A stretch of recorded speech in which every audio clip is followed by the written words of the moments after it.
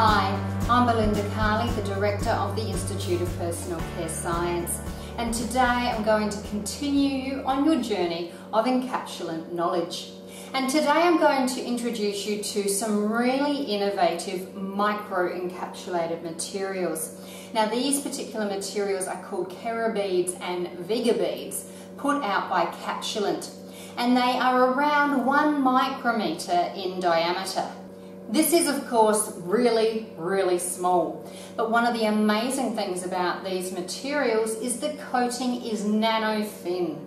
So they contain more than 99.5% active loading. In fact, one drop of these materials contains more than a billion encapsulate beads.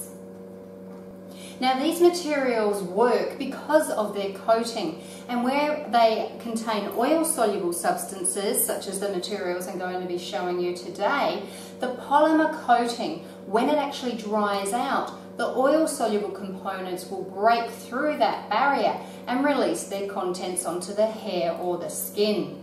Now the materials I've chosen are particularly good for hair and skin repair. Here is a bit of a image showing exactly how they work. They have a charge complex process that forms a polyamphoteric film that targets and repairs damage in the hair. The encapsulates seek out and lock onto the highly charged and damaged areas to rapidly bind, seal and restore the hair so it's left silky, soft and repaired. Not only do they work fantastically, they also provide a fantastic marketing story for you to include in your product. And the product I'm going to create today is a very simple hair serum.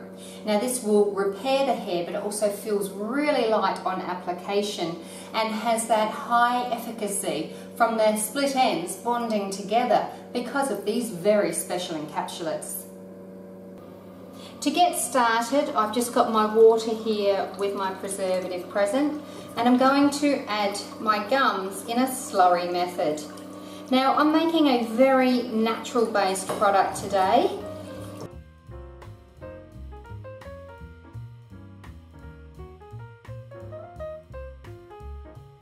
Now I'm actually combining sclerotium and xanthan gum because the xanthan gum of course thickens extremely well, great for stabilising, but if I use too much of it it can feel quite tacky.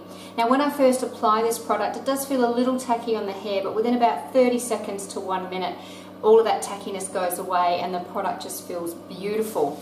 Um, I'm combining it with sclerotium gum because again fantastic stability from that gum. It does take a little longer to hydrate than when using just xanthan gum um, but of course, there is very little tack, um, practically none at all when using sclerotium gum. So I'm using a combination of the two gums to build viscosity and stability to this product.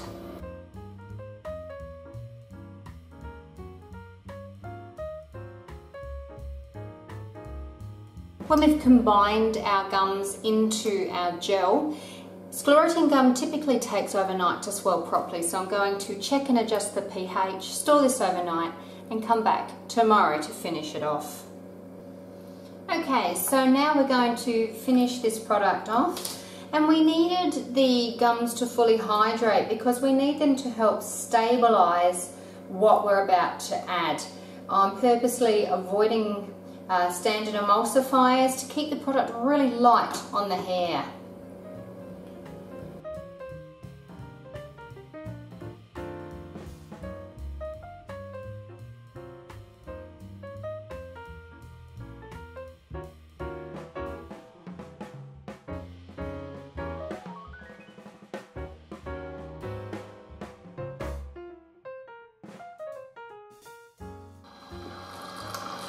Now while that's just mixing through, here's a screenshot of some of the incompatibilities of Kerabeads and Vega beads, but you'll see they're really easy to formulate with and still get those fantastic effects. And there you have it. Sometimes the simple things really are the best. Made simple, of course, through the use of these amazing Vegabeads. I know that Hannah and I will be fighting over who gets to keep this sample. I for one was very impressed with how well this product works to repair my split ends. I hope you've enjoyed this video presentation on microencapsulated materials. Happy formulating!